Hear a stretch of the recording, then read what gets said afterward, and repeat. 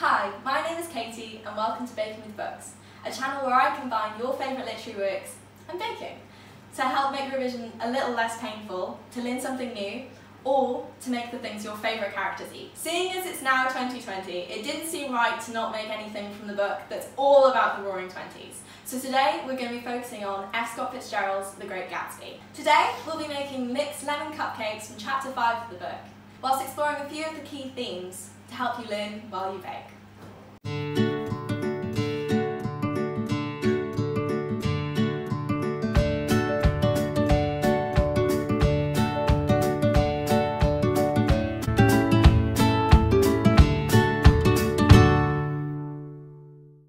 Let's get started.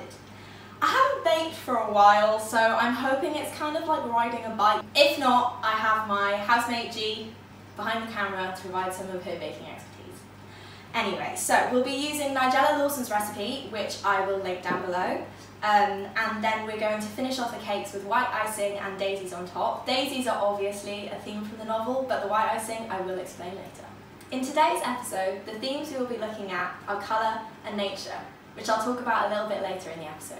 I've separated all our ingredients into separate bowls. We've got 100 grams of caster sugar, 100 grams of softened unsalted butter, 100 grams of self-raising flour, which I've already sieved, so it's going to be nice and fine, and two medium eggs, plus the most important, the lemon. We're now going to cream together the butter and the sugar. So you're going to want to grab your softened butter. Please make sure it's softened. I've done this enough times to know that that's not good if it's not. And your sugar. So we're going to just mix it together. I'm waiting for G to give me a Yeah, this is this is good. So while I mix, let's talk a little bit about the scene in which the cupcakes appear. So, it's in chapter 5, and it's a really important scene in the novel because it's right in the middle. It is, after all, the scene in which Daisy and Gatsby are reunited after five years apart. I'll now insert the quotation right exactly where the cupcakes appear. I took him into the pantry, where he looked a little reproachfully at the Finn. Together, we scrutinised the twelve lemon cakes from the delicatessen shop. Will they do? I asked. Of course, of course. They're fine.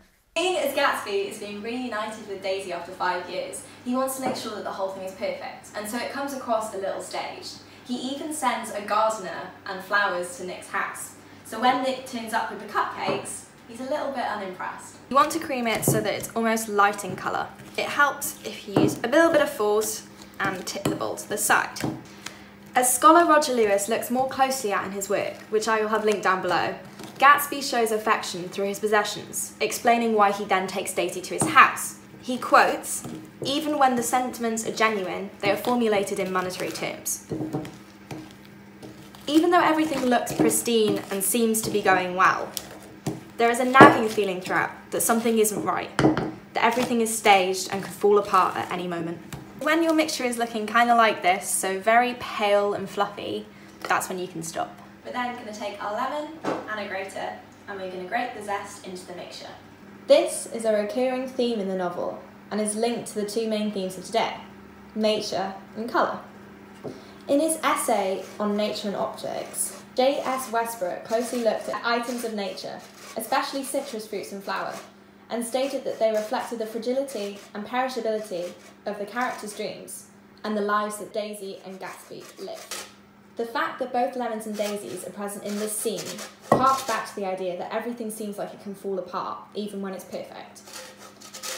It's also important to reference that lemons are mentioned earlier in chapter 3. This quotation demonstrates the abundance, but also the unnecessary waste for Gatsby's parties. Scholar Brookley takes this even further, stating that nature is insulted and abased by people in the novel. This could also be considered a comment upon the nature of the upper classes who fuel consumerism in America for their own pleasure, but it leads to so much waste. Once you've grated all the lemon zest that you want into the bowl, we're just going to mix these together. Now we're going to put this to one side and grab another bowl to crack two eggs into. So these should be medium eggs, Nigella has requested. ASMR. That wasn't too bad. There we go. And then we're just gonna whisk these together until smooth. A few seconds later, I think that's about done. So we're gonna add this little by little to make it a little bit easier to incorporate. As you can see, you need to use quite a bit of force to make the mixture incorporate nicely. And it does look a bit gross, don't get worried about that. Now we're going to incorporate the flour that we sieved earlier. Do please remember to sieve it, otherwise it's going to be slightly difficult to do. Um, it's self-raising, so you shouldn't need baking powder, but Nigella does say you can use baking powder if you want to. I'm not going to, just in case, um, but if you do, please use a table, a teaspoon. Oh my gosh, that will be messy. Do not use a tablespoon. It's looking really nice, thick and creamy, which is exactly what we want. So when your batter is all nicely incorporated and looks something like this, then we're going to try and put them into the trays. I've got muffin cases, um, but you can use normal cupcakes. That's cupcake cases, that's fine. Quite looks like quite a doughy mixture, but don't worry about that.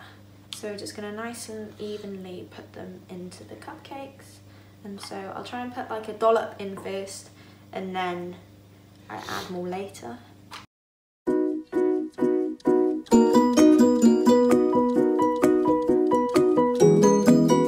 And then we're going to put these in the oven. Whilst they're baking, here's a bit of information about The Great Gatsby. The Great Gatsby was published on April the 10th, 1925, although Fitzgerald had begun writing it in 1922. After his play The Vegetable failed in October 1922, Fitzgerald, his wife Zelda, and their daughter Scotty moved to Great Neck, New York, in Long Island. Long Island, New York, America's fastest growing community. Home, place of business, It is here that Fitzgerald would be inspired to create the fictional locations of West and East Egg, which were based on Great Neck and. Manhasset Neck. Not many years ago, The Valley of Ashes was also meant to resemble Flushing. Meadow, which was a swamp nearby that was being filled during the 20s. Something that many do not know about The Great Gatsby is that F. Scott Fitzgerald struggled to settle upon a title, and that the title that we all know and love was not actually his final choice. In the winter of 1924, Fitzgerald's working title was Trimalchio in West Egg. Trimalchio was a Roman character written by Petronius. Like Gatsby, he began his life in a lower station and gained riches through distasteful acts. Trimalchio also hosted extravagant parties in the work. On March 19, 1924, after sending off the manuscripts with the title The Great Gatsby, Fitzgerald wrote to his editor the title he actually wanted was Under the Red, White and Blue, but it was too late to change by that point. As Ronald Berman noted, it is hard to argue that this novel was not a commentary upon American issues. Fitzgerald had always been influenced by human interaction and our behaviour in familiar social context. He was heavily influenced by an essay by Conrad entitled The N Word of the Narcissus. He quoted it in an essay for the Saturday Evening Post in 1933, and it is clear how this influenced the style of his writing. My task is by the power of the written word to make you hear, to make you feel. It is, before all, to make you see. His personal life inspired the novel. He met Zelda while stationed in the South during the American Civil War. Like Gatsby, he was not allowed to marry Zelda until he could prove his financial successes. Another influence, especially upon the character of Daisy, could be his parents. F. Scott Fitzgerald's mother was a daughter of an Irish immigrant, but she was known to be ditzy and eccentric. He was apparently disapproving of her behaviour and embarrassed by her. The novel is also greatly impacted by religion. Fitzgerald mentioned to his editor before he began writing that he wanted to make his next work a novel with Catholic influences. Fruit, such as the lemons and oranges, could echo the forbidden fruit. Many scholars have also likened Gatsby's garden to the Garden of Eden. With Westbrook noting, there is an overripeness and a natural plenitude in this new Eden. Now that the cupcakes are out of the oven, we're going to get started making the icing. For this, you'll need the lemon juice from the lemon from earlier, and we used about 160 grams of icing sugar. I know Nigella says to use 175, but we're not making butter icing. So what we're going to do is we're going to add the icing sugar, to the lemon juice and then mix together. Just making sure that we don't have too much icing sugar and we want it to be quite a thick texture. So thinking about our main theme today, colours and nature, we're going to talk a little bit more about the colours yellow and white. So yellow is an obvious colour which is reflected within the novel. It's the colour of Gatsby's car, which, spoiler alert, Daisy runs over Myrtle with. Nick also uses it countless of other times to describe characters and places. Most often, it's associated with Gatsby. Yellow is the colour of deceit and fake money. It symbolises fake gold. Gatsby is living a life based on money that he shouldn't have, which could fall apart any second, all of which is hiding the true person underneath, James Gatz. White is also an important colour as it is associated with Tom and Daisy. In A.E. Elmore's essay on colour in the cosmos in The Great Gatsby, they explored the idea that white is the colour that Tom is obsessed with due to his racial beliefs. Elmore's most interesting point is about Daisy herself.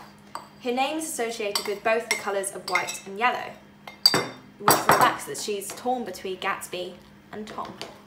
So when your mixture reaches this level of thickness, this is kind of what we want, you can make it whatever you fancy. Then we're going to start decorating the cakes. So we'll just do one to show you an example. So we're going to put one blob, ooh, it's quite runny, onto the cake and let it spread out a little bit. We're going to finish the daisy on top. So there you have it, Nick Carraway's lemon cupcakes from The Great Gatsby. I hope you enjoyed this video and I hope to see you next week, where we learn more about your favourite literary works and bake literary inspired recipes.